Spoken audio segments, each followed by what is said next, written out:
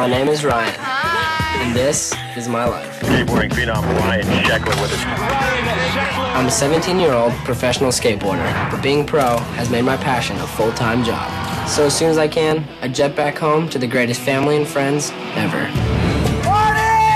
Casey and Tony are my two best friends. We'll help you out, but you gotta find that girl. Casey is dating Taylor. To me, she's the perfect girl. It'll grow into like a friendship or it'll grow into a relationship. I also have two younger brothers that mean the world to me. Let me be your best brother now. Give me a hug, Kane. And I couldn't ask for cooler parents. Oh, All right there. My dad is awesome. It's hot still. My mom is really chill, except when she's being my manager. We've got to go to Dubai, Melbourne, Sydney, and then Japan. I've always been able to balance skating with my life at home until my parents divorced this year, and my whole world came crashing down. I need to start living my life.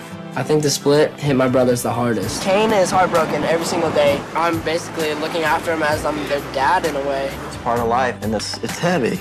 And if having my family explode wasn't enough, now even my love life has crashed. I'm not the type of person that's okay with like my boyfriend being gone for a whole month. Tina's parents don't feel comfortable with my lifestyle. The dark side of skateboarding has reared its ugly head again. It's super frustrating because like all I want to do is have fun and have a chill girl. I think it's kind of funny that you can travel all over the world and do everything you do, and you can't seem to get the girl. Now the only thing harder than being a top pro skater is dealing with all the stress at home.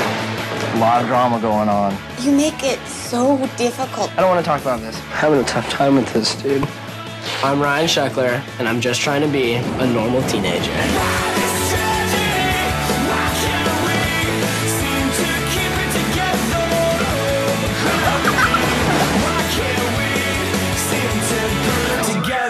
Series premiere August 27th, 10:30 p.m. only on MTV.